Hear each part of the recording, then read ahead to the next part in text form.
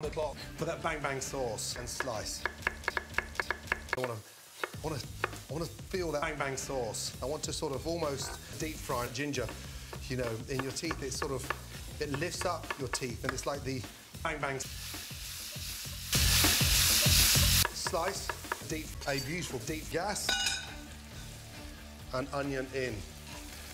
in. I want to feel that cock. It's delicious and it's going to turn you vegan. And when I say toasted, I mean it's sort of toasted. Take off the root, and then literally take off the root, bang. I like it quite chunky. We've now got that collar on that collar. Look at my collar. Give that collar a nice toss, and I'm just going to drop it. But crispy. Collar going to come out a much better chef. And if you like this video, don't forget to bang bang to my amazing YouTube channel for more, more, more, for more. Good luck. Honestly, after 30 years of cooking, makes me want to bang an onion